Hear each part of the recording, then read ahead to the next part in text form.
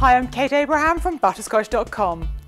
Like all puzzle fanatics, I am constantly looking for my next challenge. Unfortunately for me, the Android market is full of challenging games. My most recent discovery is a game called Mousetrap. The object of this simple yet hugely addictive game is to help the mouse escape from the laboratory maze. Now this may sound easy, and at first it is, but as you progress through the levels it does get quite difficult. To move the blocks or the mouse, just use your finger to swipe left or right and up or down. To get started, just follow the tutorial. As you accumulate coins, you'll be able to unlock level packs and various hidden features in the game's bonus store.